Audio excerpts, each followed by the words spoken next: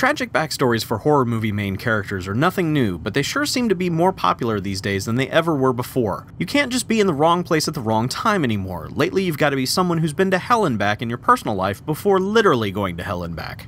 2013's Evil Dead remake, reboot, whatever it is, features a group of friends heading to an isolated cabin, blah blah blah, you know the drill. But instead of everyone just going on vacation, this time around they're there because one of them is attempting to detox from a massive heroin addiction. And she's probably the hottest, healthiest near death heroin addict I've ever seen. They make a grotesque discovery in the basement and eventually uncover the Book of the Dead, which then unleashes more grotesque problems for these poor souls.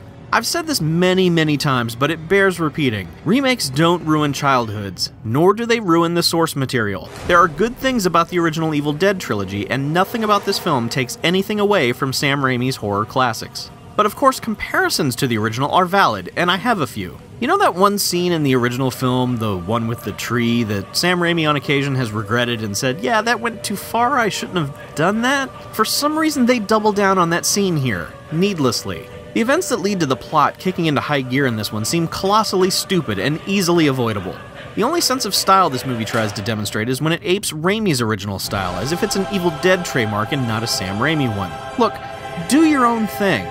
Make your own movie. Every time you show a glimpse of something from the original film, all it makes me do is think how good that film is and how you're just copying it. A nod or two is fine, but when they keep coming and keep coming, all I can wonder is what the point of all of this is. And I'd like to note how well lit the movie is. Too well lit, actually.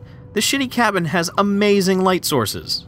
Thankfully, the film contains a lot of practical effects and tanker trucks worth of blood, so that makes things somewhat tolerable for the horror crowd. But that's one of the only things I can point to as being a positive, and it's kind of a silly world we live in now where something like that is even worth a mention. So yeah, I don't get why this remake exists. It doesn't do anything better than the original films, and when it does try to get creative, it's just a copy of the creativity from the past. And again, that's not coming from a place where remakes are all shit because the originals are sacred. This Evil Dead just isn't good enough to stand on its own. Period. If you haven't seen it, you're probably going to want to someday out of sheer curiosity, but I simply cannot recommend that you do. The originals are readily available and superior in just about every way.